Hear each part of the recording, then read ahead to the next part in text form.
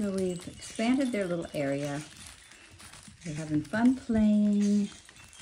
I'm cleaning the whelping box while they're out here playing. And in the background, we have the puppy sounds um, that I play every day to help desensitize them to sounds. And not quite sure what the sound is right now, but it's it's playing in the background.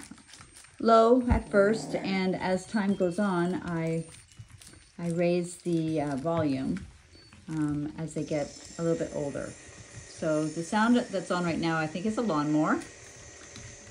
And uh, you notice they're not even paying any attention to it. It's nothing that's scary to them. And um, they're just going along their business. Oh, now the two girls over there, look at, they're listening because the my sound app is up, up top. So they're curious, but they're not scared. It's all good. So today they turned four weeks old. They are exactly four weeks old today.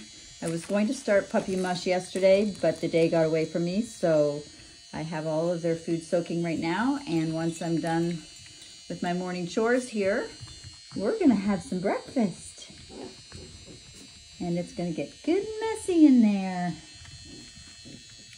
They're having so much fun.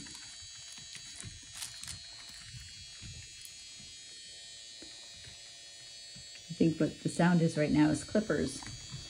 So this goes through so many different sounds, um, just everyday sounds.